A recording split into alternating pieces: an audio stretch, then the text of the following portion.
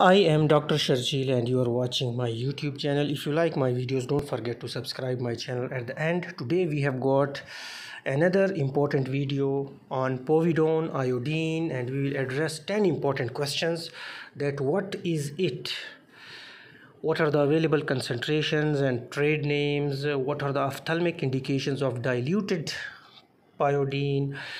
Which one is more potent concentrated or diluted solution? How to prepare diluted solution? What's the difference between scrub and solution and how to apply scrub?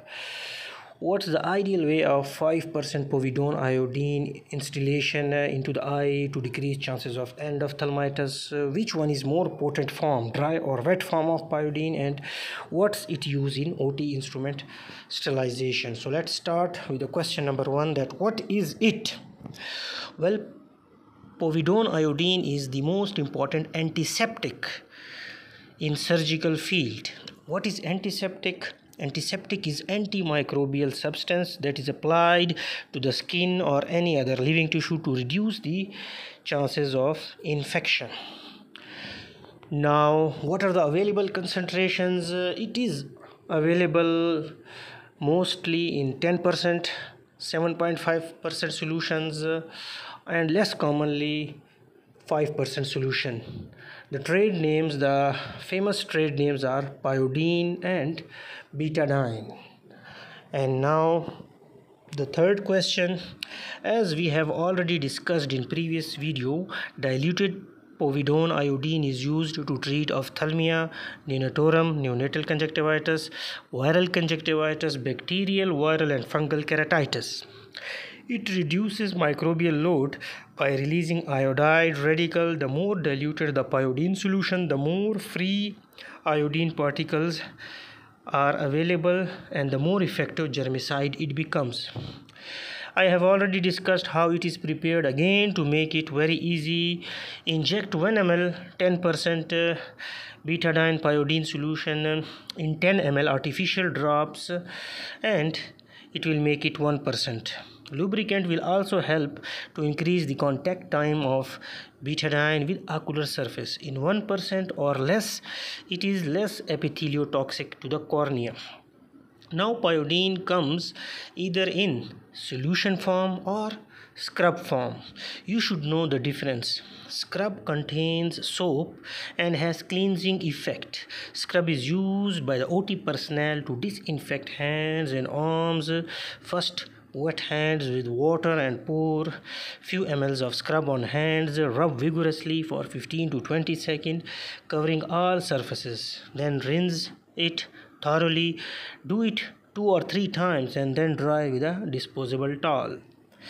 Solution is used for skin disinfection before and after surgery as well as 5% solution can be instilled into eye as prophylaxis because it is the only proven drug to decrease the chances of post-op and endophthalmitis now doctors argue that we use pyodine solution routinely before starting the surgery and still get endophthalmitis. Why?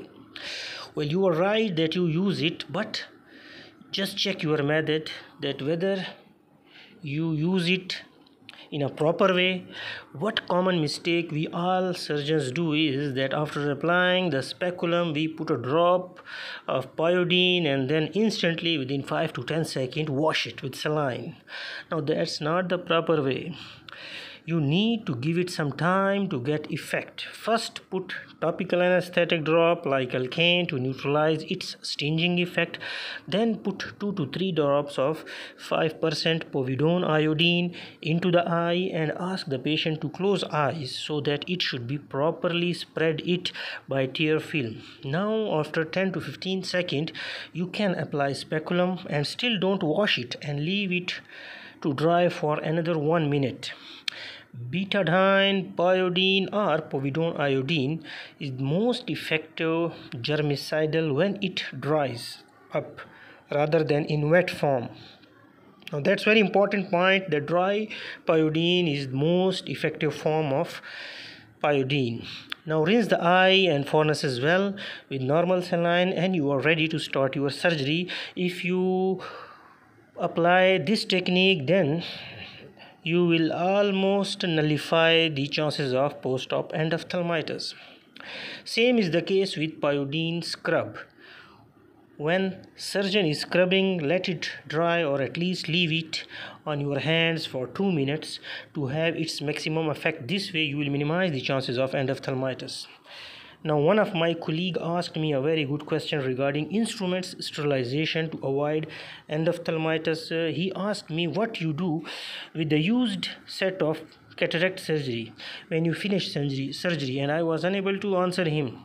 Then I asked my OT and instrument sterilization team because we have got very less rate of endophthalmitis in last few years. So sterilization team told me that after the use we clean all the instruments like corneal forceps etc with 2% diluted pyodine solution and then all instruments again with normal saline before autoclaving or hot air oven technique. Now that was new information for me too i am thankful to my friend dr tanveer abbas who asked me a very important and valid question. And now i have addressed it. And hopefully all the viewers watching my videos they can also give their feedback in comments about their technique of sterilization. So we have addressed almost all questions all 10 important questions about povidone iodine. We will have another session regarding uh, povidone iodine about its intracameral and intravitreal use. Thank you very much